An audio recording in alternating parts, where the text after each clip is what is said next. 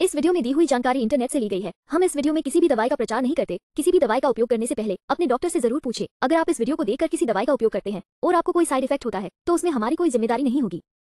S B L F tabs tablet एक homeopathic दवा है, जो वायरस और फ्लू से लड़ने के लिए एंटीबॉडी बनाकर शरीर की सहायता करती है।